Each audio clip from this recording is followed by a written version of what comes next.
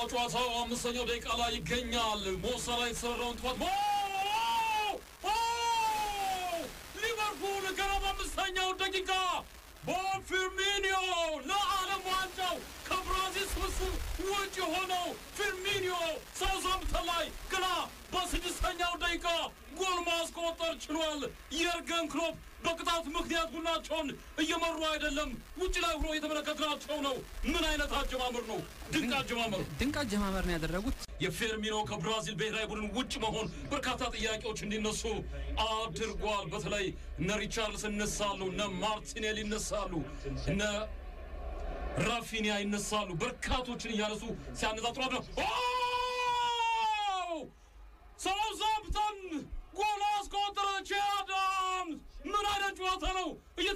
እየተመለከትን ያለ ነው። ገና በዘጠነኛው ደቂቃ ሊቨርፑል አንድ ሳውዛምፕተን አንድ ፊርሚኖ ኳሱን አልተቆጣጠረውም። እንደገና ኤሊዮት አሻማ ኑኔዝ ሊቨርፑል በሀያ አንደኛው ደቂቃ ኑኔዝ ባስቆጠረው ጎል በድጋሜ መምራት ጀምሯል። ሊቨርፑል ደጋፊዎች ደስታቸውን እየገለጹ የተመለከትናቸው እንገኛለን። ምን አይነት እንቅስቃሴ ነው! የኢሊየት ከተከላካዮቹ ከቤላ ኮቻፕ ጀርባ ኳሱን ያቀበለበት መንገድ እጅግ ድንቅ ነው። ምን አይነት ግራግር እንደሆነ የሚያስገርም ነው። ኑኔዝ ያደረገው ነገር እንደ ጥሩ አጥቂ ከተከላካዮች ጀርባ ሮጠ፣ የመጣለትን ኳስ በድንቅ መንገድ ነው የጨረሰው። አሁንም የተመለከትነው ዱዌል የቤላ ኮቻፕና የዳርዊን ኑኔዝ ነው። ፈጽሞ nervous ሆኗል። ውሳኔዎቹ ላይ ምን ማድረግ እንዳለበት ግራ ተጋብቷል። እንደ አሰልጣኝ አሁን እዛ ቦታ ላይ አንድ ነገር መወሰን የሚገባው ሰዓት ይመስለኛል። ቢያንስ ከሶስቱ ተከላካዮች ካሌታ ካር በጣም ጥሩ athletic ተጫዋች ነው። ስለዚህ እሱን ዳርዊን ኑኔዝ ላይ ማድረግ ቢችል የተሻለ ይሆናል። ግን በጣም ተመችቶት እየተጫወተ ነው ዳርዊን ኑኔዝ። ዳርዊን ኑኔዝ ጎሉን ካስቆጠረበት ጥበቡ ይልቅ ግን ኦፍሳይድ የነበረበት position እንዴት እንደቀይረው ደግሞ በጣም አስገራሚ ነው። ገብቶ የወጣበት መንገድ! አርባ አንደኛው ደቂቃ እንቅስቃሴ ሲያደርግ ያመሸው ዳርዊን ኑኔዝ ሶስተኛውን ጎል አስቆጥሯል።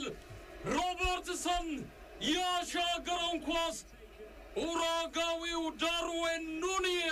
ሁለተኛ ጎሉን ለራሱ ለሊቨርፑል ሶስተኛ ጎል አስቆጥሮ አንፊልድን ጮቤ ያስረግጧል። ዛሬ የሚያሸንፍ ከሆነ ሊቨርፑል ስድስተኛ ደረጃ ላይ ይመጣል። ከማንቸስተር ዩናይትድ ትከሻ ላይ ጆሮ ላይ መተንፈስ የሚጀምርበትን ሁኔታ የሚፈጥር ነው። ድንቅ ኳስ ሮበርትሰን ኦፍሳይድ ይመስላል መጣራቱ አይቀርም። ግን ያው የሳውዛምፕተን የመከላከል ቅርጽ በአምስት ተከላካይ ሆኖ ነበር። ምክንያቱም ኤሊዮኑሲ ሮበርትሰንን ለመከላከል መጥቶ ስለነበረ፣ ስለዚህ ይሄ የበለጠ እድል ይሰጣቸው ነበር በቁ- በቁጥር ኳሱን ለማጽዳት። ግን ለመጀመሪያ ጊዜ ሮበርተን ሮበርትሰን overlap አድርጎ የፈጠረው የግብ እድል እንግዲህ ወደ ግብ ተቀይሯል እና ምን አይነት በጣም ቀላል ቀን እያሳለፉ እንደሆነ ሊቨርፑሎችን ያሳያል። ነበር። ለፊርሚኖ አቀበለው። ፊርሚኖ ከተከላካዮች ጀርባ ለሮበርትሰን አራቱም ተጫዋቾች ሲቀባበሉና ጎሉን ሲያስቆጥሩ በዚህ ደረጃ የሚጠበቅ አይነት ተጫዋቾቹ በቀላሉ እድሉ እንዳይጠቀሙበት የሚደረግ ጫና ዳኞቹ ጭራሽ ቼክም አላረጉትም። የጠየቀም የለም። በቃ ህይወት ይቀጥላል። አዎ ጨዋታው አርባ ሶስተኛው ደቂቃ ላይ ይገኛል። ክቡራትና ክቡራን አንፊልድ ላይ ሊቨርፑል ሳውዝሃምፕተንን ሶስት ለአንድ እየመራ ይገኛል። እነ ሳላህን ማቆየት ቀላል ነገር አይደለም። ያው በሞራል ጥሩ ስሜት ላይሰማቸው ይችላል እነ ሳላህ ግን ደግሞ በአንድ በኩል ያንን ያንን ብስጭታቸውን ዓለም ዋንጫ ላይ ለመኖራቸውን እዚህ ላይ እንዲያተኩሩ ያደርጋቸዋል። ይሄ ለክሎፕ ጥሩ ነገር ነው። ከዓለም ዋንጫ በኋላ የሚሻሻል ሊቨርፑልን ብንጠብቅ ከፍተኛ ተስፈኝነት አይመስለኝም። አዎ እነዚህ እነዚህ ምክንያቶቹ ምክንያቶቹ አዎ ት- ትልቆቹ ተጫዋቾች ተጎድተው ሊመለሱ ይችላሉ። አቋማቸው ወርዶ ሊመለስ በአንጻራዊነት ግን ብዙ ተጫዋቾችን የማይልክ ቡድን ነው ከትልቆቹ መካከል። ይሄ ጥሩ ዜና ነው መሆን ያለበት። አሁን ለ- እንደ ደጋፊ ወይም እንደ ቡድን ሰው ፊርሚኖ ዓለም ዋንጫ ላይ ብሄድ ትመርጣለህ። ደስተኛ ሆኖ ቢመጣ ለአንተ ክለብ ሰው ብሄድ ግን ከጉዳት የሚርቅ ከጉዳት ይርቃል። ከከባባድ ጨዋታዎች ይርቃል። ከድካም ይርቃል። ልምምድና ጨዋታዎች አንድ አይደሉም። ጉዞ ራሱ ከጉዞ ከስሜት ከስሜትና ከትኩረት መበታተን ይርቃል። እነዚህን ሁሉ ስታይ ለእኔ ክሎፕ ተጫዋቾች ቢመረጡ ይላሉ፣ ግን ደግሞ በሆነ መንገድ ይሄን ቡድን ይዘው በመቆየታቸው ደስተኛ የሚሆኑ ነው የሚመስለኝ። በተለይ ደግሞ በዚህ ስሜት በዚህ ስሜት ከዚህ ቡድን ጋር የሚቀጥሉት ሳምንታት ጥሩ የሚሆኑ ይመስለኝ።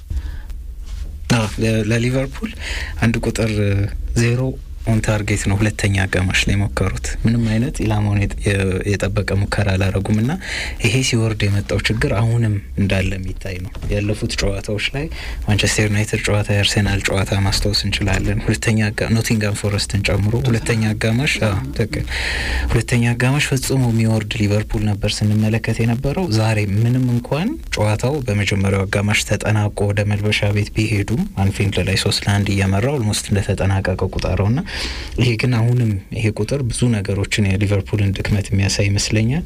ከሳውዝሃምተን አንጻር ሀሰን ሆቴል የትልቅ ጨዋታ አሰልጣኝ እንደሆኑ አሳይተውናል። ቼልሲን አሸንፈዋል። አርሴናልን በጣም ፈትነዋቸው ወጥተዋል በሜዳቸው ና ኃላፊዎቹ እውነት ትክክለኛ ጊዜው ትክክል ነበሩ ይህን ሹመት ሹምሽር ያደረጉት የሚለው ትልቅ ጥያቄ የሚያስነሳ ይመስለኛል። ምናልባት ዛሬ ሀሰን ሆቴል ቢሆኑ ኖሮ ለእኛ ለገለልተኛ ተመልካቾችም ጥሩ እግር ኳስ፣ ለሳውዛምተን ደጋፊዎችም የሆነ ውጤት ሊያገኙበት የሚችሉትን ነገር ሊያገኙ ይችሉ ነበር። ግን የጆንስ ቡድን ወደፊትም እናየዋለን እንዲህ ላይሆን ይችላል። ግን እዛም ጋር ውሳኔ ችግር ያለ ይመስላል። እንግዲህ ለሊቨርፑል ግን አካባቢው አጠገቡ ያሉት በደረጃ ሰንጠረዡ ጥሩ ቀን አላሳለፉለትም። ደረጃውን ጠብቆ ጥሩ በሆነ ሁኔታ ላይ ትክክልና በብዙ ነገር ዛሬ ለሊቨርፑል ጥሩ ቀን ነበር ከነ ቁጥራዊ ጥርጣሬዎቹ